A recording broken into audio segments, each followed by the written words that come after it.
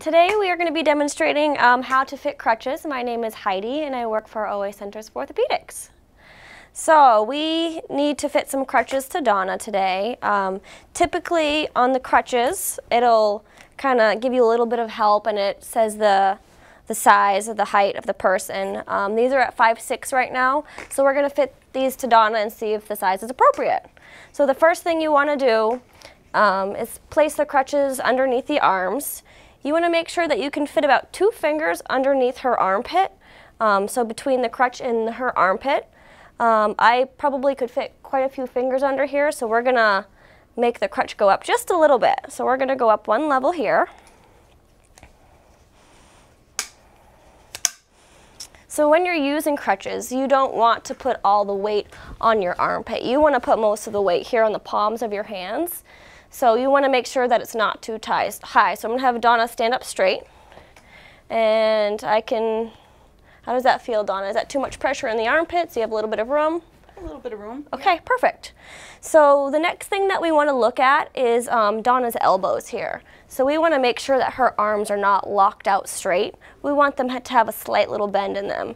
So I would say that we need to go up at least one on this because Donna's arms are pretty straight. So um, you don't want the arms to be out straight and the pressure in the armpits because you don't want to cause any pressure on the nerve there. So we're going to adjust these.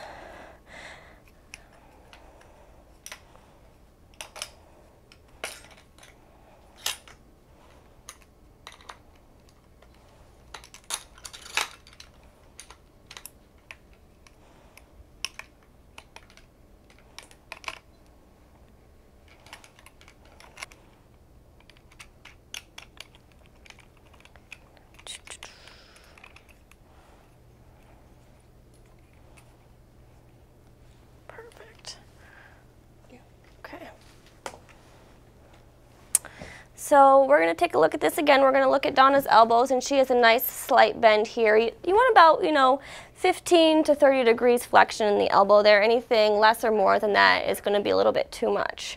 So um, when we start weight bearing with the crutches, we're really going to, like I said, put the weight on the palms of your hands. So I'm going to have Donna come over here, and we're to show you how to start to walk with crutches. So the first thing you're to do, like Donna is doing, put your crutches first and either um, bend, your, bend at the knee so that your foot is behind you. You don't really want the foot to be in front because it can cause some balance issues. So typically we recommend you bend at the knee. And Donna's to put the crutches first with the weight on the palms of her hands and kind of step through with her good foot. So Donna's not putting any weight in her armpits. It's really um, basically on the palms of her hands. She uses this a little bit for balance under here. Um, and again, up forward with the crutches. It's kind of like a triangle, and then you step through with your good foot. And you don't want to go too far forward because you're kind of playing catch up with the other leg. So just, just comfortable enough, a couple feet in front of you, just like that.